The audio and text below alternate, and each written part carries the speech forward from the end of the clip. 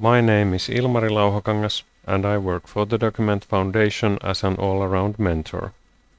Anyone is free to create bug reports against LibreOffice. The openness of our bug tracker is a great springboard for contributors. Reporting a bug here and another there is part of the normal civic duty of a software user, but what does it mean to become a legend in this activity?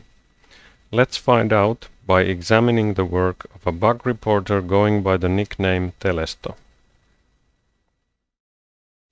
First off, I want to say that even though we are all tired of looking at Bugzilla's crusty old interface while waiting for the update that never comes, this presentation would not have been possible without its advanced search capabilities. It really is the ultimate tool for easy research into bug reports. Since 2016, Telesto has created over 3000 reports in our Bugzilla. The vast majority of them are bugs, while they do include about 200 feature requests. The volume of Telesto's bug reports is anomalous. As such, it has even annoyed some people. I admit I have sometimes felt overwhelmed by the amount of confirming work required. However, being bothered by the reports is really more of an attitude problem.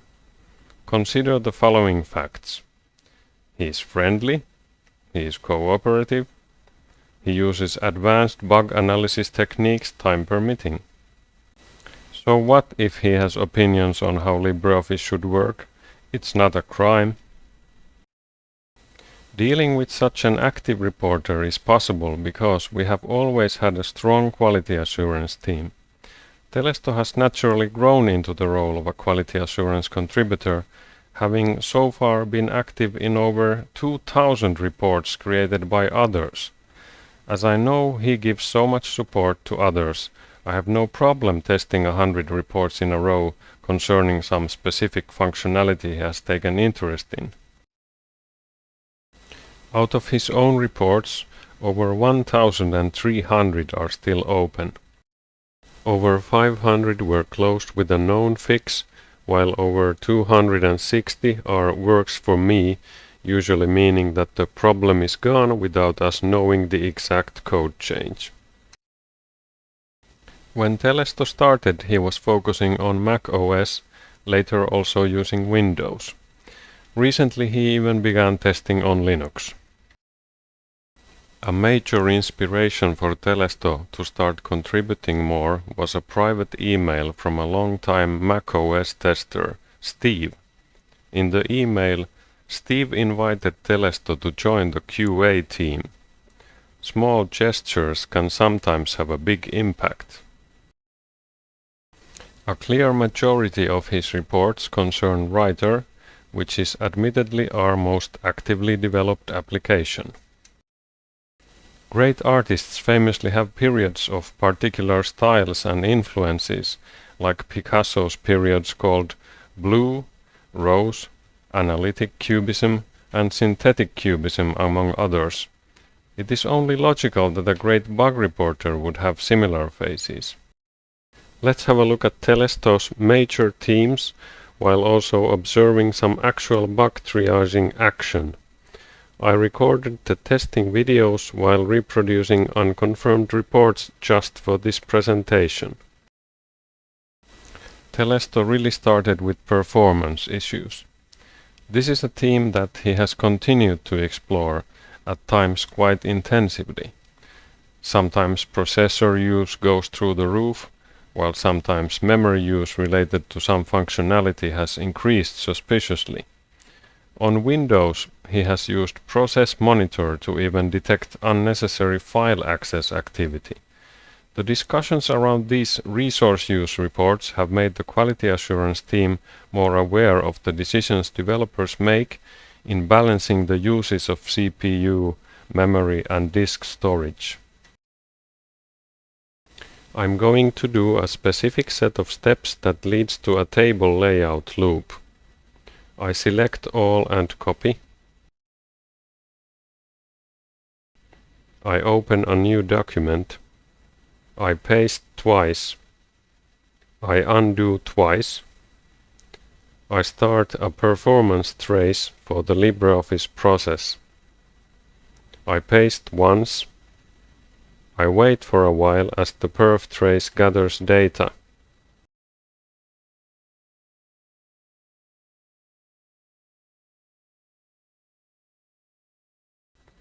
I hit Ctrl C to cancel out of perf. I run a command that creates a flame graph of the perf data. The flame graph can be observed in Inkscape, for example. The plateaus in the landscape tell us of curiously long times spent in a specific function. We see lots of time is spent in managing undo and thread locking. This is about changing anchoring type being abnormally slow. I start a perf trace. I change the anchoring of the image to to character.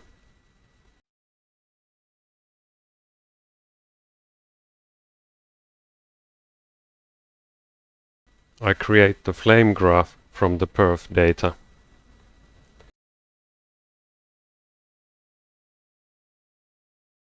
Here we see a long time is spent thinking about line breaks with the help of the International Components for Unicode ICU library. Early on, Telesto was creating many reports for Microsoft Word document issues. This team has also been present throughout his work. So far he has several hundred reports related to Microsoft Office compatibility under his belt. In 2017, Telesto noticed he can make weird stuff happen using the undo and redo functionality in various command sequences. Undo is indeed quite a tricky problem area in software development, and with his hundreds of reports, Telesto has certainly proven that we need to work on the robustness of our implementation. This is about undo messing up numbering size in a list I select all. I toggle the numbering two times. I hit undo twice. This is about unexpected undo behavior while editing text in a text box. I edit the text box. I select all and cut. I hit undo. After I focus outside the text box and hit undo again, the bullets reappear. Copying and pasting is something that sounds so simple and innocent that an average guy on the street would never guess it to be an implementation minefield. There was a big spike in paste issues reported by Telesto in 2018 and the topic is still near to his heart. Often it is part of some dance choreography including undo and redo steps. In this issue, pasting drops images. I save the file as docx and reload.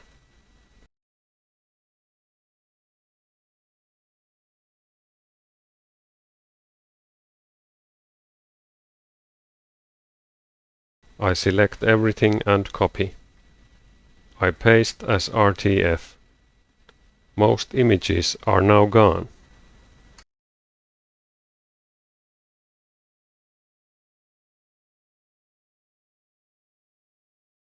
Writer layout is another complex puzzle and anchoring of objects in the document canvas is one special field in this rocket science. In 2020, Telesto decided to go after anchoring issues with a vengeance. There were of course some unavoidable philosophical discussions on the very nature of anchoring. Here we have an image anchored to paragraph refusing to move to the left. I select the image and hold down Shift key to constrain the axis of the movement. I drag to the left and the image doesn't move. Dragging it diagonally gives a different result. This is a bug that took me into a rabbit hole. It is about the anchoring type of a frame changing from to character to to paragraph when saving as docx. Telesto reported the bug is not seen in LibreOffice 4.2, but is already in 4.3.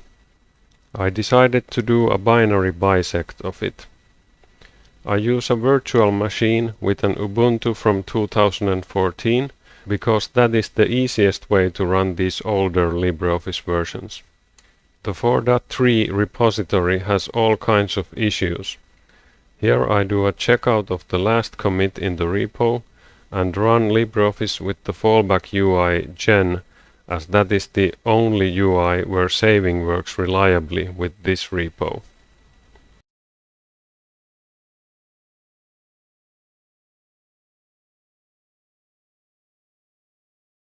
I save the file as docx.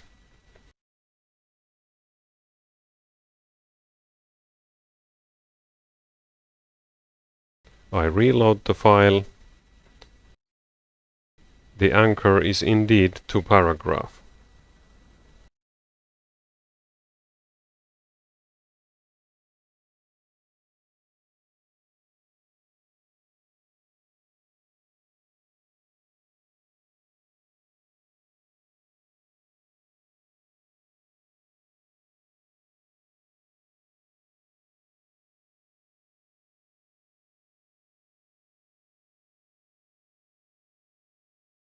In the oldest commit in the repo, it stays as to character.